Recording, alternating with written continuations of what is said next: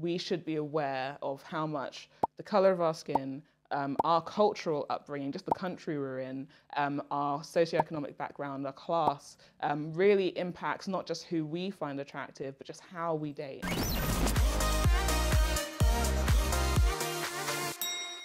This is Salts YouTube. I'm Lauren Windle, and she's back. Yeah, she is. It's Tibz. Hi, everyone. I missed you guys. So, we're talking about dating across different backgrounds, different cultures, in different scenarios, and actually like bringing your differences together. And sometimes that can be amazing. Oh, yeah.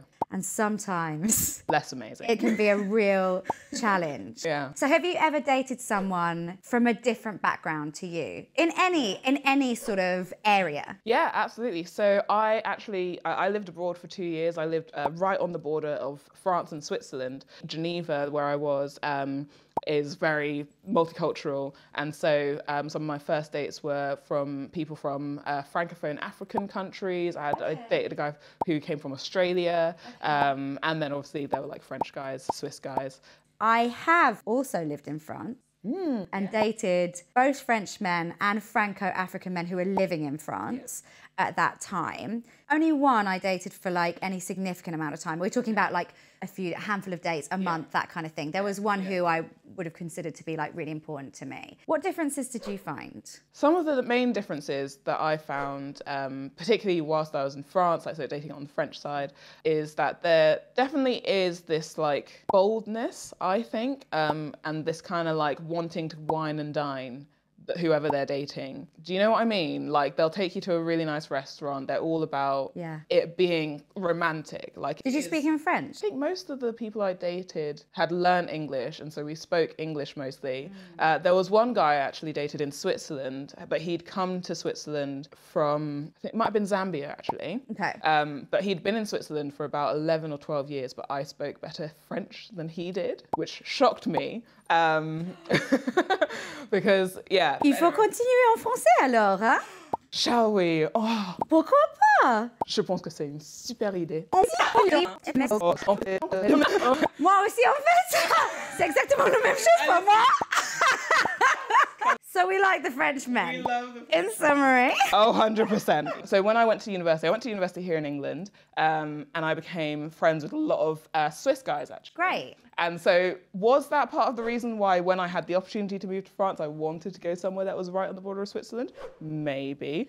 Okay, I'm piecing this together. I'm, I'm marpling my way around this. I've got the measure. I moved to France because of like, it wasn't, no, it was because the Lord led me there. I served some churches. It was a Okay, great. fantastic time. yeah. But there are perks. But there are perks. And like, you know, we were talking a bit about accents earlier. I do really enjoy the French accent and I still do. Um, oh la la. I know.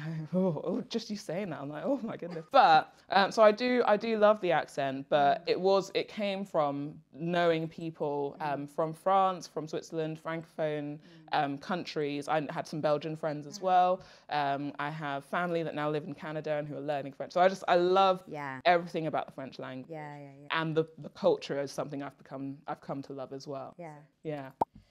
So I found when dating French, I, I would have to broadly say French speaking men. Right, yeah. Actually, French guys. Same here. When you when you're an international person in another country, I think you actually do, mix with international groups more than you mix with like people who are born and raised in that place because they kind of already have their group set. I found them, as you say, more bold, Yeah. more straightforward. I was on a second date with someone when they referred to me as their girlfriend Oh, wow. which is something we wouldn't do. But actually, it's not that big a deal. No. And actually, I don't even think that it implied exclusivity, but it was just the term that he used for the woman he was dating I mean, yeah. at that time. And actually, I felt a, a little bit more reassured by that than the way that we do it in Britain, where you kind of plod along. I actually, and it's something. So when I was looking to potential to go to university, I started researching American universities, and some of the books I was reading was t- explaining American dating and the way that they date, and they were talking about how actually you can be dating someone for months and you will not know whether or not you're actually in a relationship. Mm. And I read it and it shocked me because I was like in my naive 17 year oldness, I was like. How can you go like literally go on multiple dates over the course of three months with someone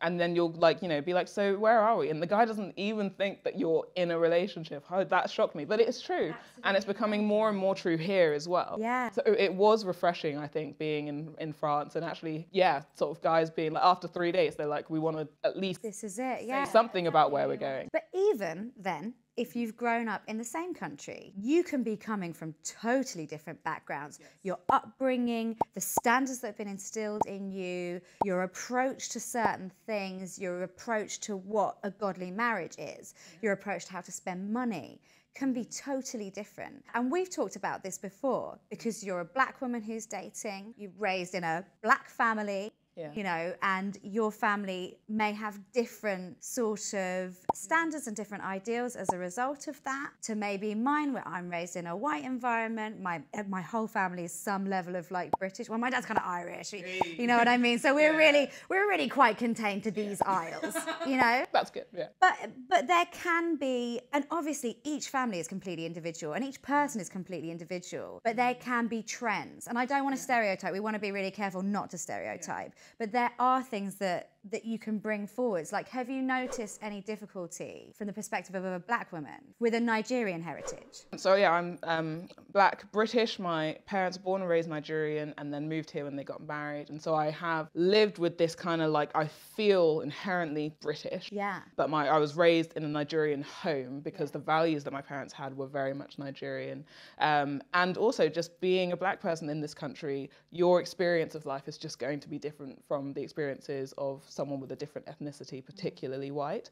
If you're enjoying this chat, don't forget to hit like and subscribe for more salt content from us. And this is actually a conversation I was having with someone recently off the back of an article that we wrote and talked. We, did together. Yeah, we did. We should put link in, Yeah, link, in the, link in link the at the bottom. Yeah, Yeah. we did, where we spoke about the challenges Yeah. of dating as a black person, as a black woman. And it spurred some really fantastic conversations actually um, with my friends, my family, and it was actually the moment that my parents found out that I was indeed dating. I think they knew we outed you. that I'd never said it. And then they were just like, yeah. And now, like, every time, like, they'll have like friends of theirs come up and be like, oh, your daughter wrote this amazing article. And they're like, yeah, she did. We're so proud of her. and then she's speaking to. Love you, mum and dad. Um, no, but it, I had some really fantastic conversations come out of them. And one of them was actually a friend who had just started dating a girl from Ghana. Uh, he was he was he was white. She was um, from Ghana, Okay. and he was saying, "I don't really understand because I like to think I'm an empathetic person, person or compassionate person, but I don't understand why she gets particularly upset about certain things or why she reads into certain things more than I think is there." And I sort of had to explain to him like there are there are experiences that a black person and a black woman will have that you will never have in your life or understand or be able to fully understand. Yeah. Do you think people who usually stick to a certain socioeconomic background or a certain country or a certain race or a certain ethnicity, would you challenge them to explore outside of that? Or actually, do you think, like, if, if that's your type, that's your type? Yes, hundred percent. I would challenge people to explore. Um, I agree. Yeah, because you there's like what four billion men on the planet, right? and then like okay, some of them are That's a boy bath if ever I've heard in- one. Like, and like, and you're really gonna limit it to people who have had the exact same experiences as you. The real danger can actually be if you date someone that's almost too similar to you, because then you're not gonna be challenged. You'll end up feeling bored, and you'll end up almost resenting them for maybe the things that you are insecure about in yourself, but that you see in them. Yeah. Um, so I think really challenge yourself, put yourself out there. Um, not obviously any disparagement against people who you've, you know, you have married the boy next door. You know, we all wanted to marry the boy next door when we were like six years old. Um, The boy next door to me, real story, uh-huh. his girlfriend was Sia. No, Yeah, big. the seer. So that's why I didn't date the guy, boy next door. He was taken by Sia. what I, I really value in someone is someone who can teach me something. That doesn't mean that they have to have lived in a different country or speak a language I don't speak or been raised in a in a household where there, there's really strong influences from another heritage or whatever. But it does mean that, that they have to bring me something new. I have to be excited to hear what they're going to yeah. say next. I don't I don't I don't want my life to stop within my box. Yeah. I want to hear about yours. Lauren, you and I as single women, we have got exciting lives, right? We're we've got stuff going on and I'll own that. I'll take that. If we're going to have someone new come into that as a significant other, like they have to be, like I said, adding something new, adding something that we can learn, mm. um, something that we otherwise maybe wouldn't have experienced mm. in our mm. lives. Um, but if there's nothing new that's being contributed, then like, you know, I don't want to say what's the point, but what's the point? you want to grow with someone, yeah, you know, yeah. and you want them to encourage and challenge you to grow and actually learning about other people's life experiences. As, and I, a big one for me as well is when someone can teach me to cook something I've never had before. Yes. Oh my, if someone's like, oh, this is my mum's recipe, you're like, Oh my goodness, let me get my little notebook because I'm taking that with me. But I mean, that's a reasonably superficial one. Like, it's not character development, but, but it's, so fun. It's, it's so nice. Example. You know, one thing that I do, and it's a very practical point, but is worth pointing out because for some couples, this really is make or break, is that if you are dating someone who has a particular association or, or love or fondness for another country, whether that's because they've lived there or because their families lived there or whatever, uh, they may want to move there. And I do think that you need to, I mean, not first date. like, oh, so yeah. you tell me that your family's from Nicaragua. You don't want to go to Nicaragua though, do you? Because I'm very happy here. So. yeah, no, leave it till there's at least some emotional attachment there. Yeah, yeah. yeah. But actually, reasonably early on, if you're serious about dating and they uh, see their time in the UK or whichever country you're, you know, you're based in as temporary, they do kind of need to make that clear. And it may be that you're like, I'm up for this adventure. Let's try it for three years. Let's, you know, obviously you'd want to be pretty committed. We're yeah. talking, we're talking, you know, marry me and then I'll talk yeah. about moving. You know, yeah. but actually, like it's good to know if that is in someone's plans. Exactly. And I know that I've always, so I've, I love traveling and I've always loved the idea of living abroad, not just mm. traveling. Um, and I know that like part of the reason, like we said earlier, part of the reason uh, I was living in France mm. um, was because I was sort of beginning that journey of sort of, in my head, it was kind of like first stop France, next stop the world. and I kind of, COVID happened. And so I was like, next up, back to home, England. Yeah. And literally so, your house and not leaving for two years. yeah. So it didn't quite work out that way. But I still have in my heart a desire to maybe live abroad, to to learn other cultures, to know other cultures. Um, whilst I was there, I learned French, but I also I learned you know dishes, um, foods, and um, and all sorts of ways of living.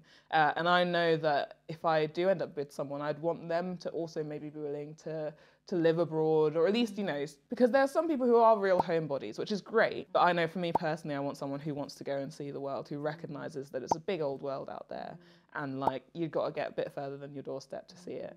But I think at the end of the day, if there's anything that people take away from this, I want it to be that we should be aware of how much the color of our skin, um, our cultural upbringing, just the country we're in, um, our socioeconomic background, our class, um, really impacts not just who we find attractive, but just how we date um, as a whole. Um, and I think when we've got a self-awareness of that, it will make us open to more opportunities, more ideas, but also we're just going to have a lot more fun in dating. Thanks for watching. If you've enjoyed it, hit like and subscribe.